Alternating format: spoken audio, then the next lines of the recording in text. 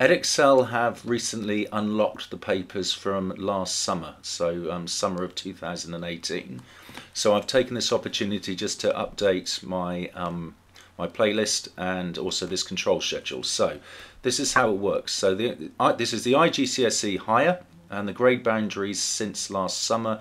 As you know, we've moved over to a nine to um, nine to one um, system, uh, with four being scraping a pass and nine being the top you can get.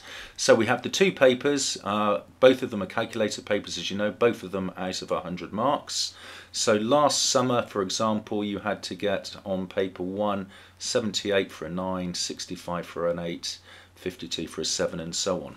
Now you will see if you add up the marks when you add the two papers together for the grade 9, 8, 6 and 5 they don't necessarily uh, add up so um, you've got to follow the marks out of 200. What, what um, Edexcel have done they have um, fixed their level 7 and level 4 boundaries so they those in bold type are always correct. So 50 add 52 equals equals 102 similarly with the grade 4s but they do flex them a bit in between. So as you can see 75 and 78 does not add up to 149 so what you need to do you need to make sure if you were going to get a 9 you get 149 in total. So you don't quite have to do as much as those two there so these are the um, boundaries for the new system, the new 9 to 1, and down below here we've got the legacy papers. So this is the old style papers where you could get an A star and an A, B and a C.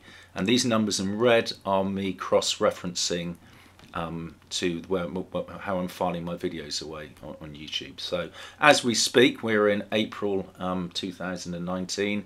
The January papers are still locked, so they will not be appearing on um, on my, my website until until they are un unlocked uh, later on. So I think it's about nine months later. So that probably won't be until about October.